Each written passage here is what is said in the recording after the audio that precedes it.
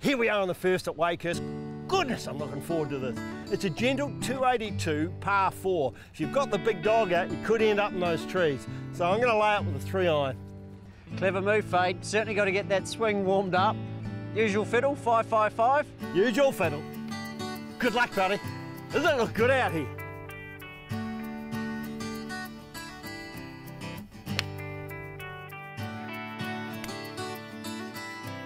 Shot.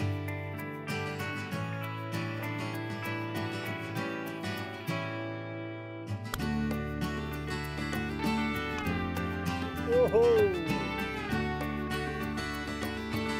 Hey, Thirty. What a start, mate.